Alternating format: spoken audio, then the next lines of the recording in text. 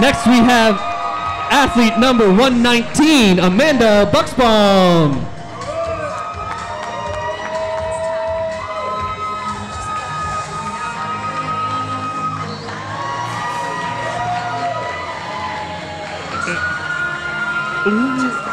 Thank you, Amanda.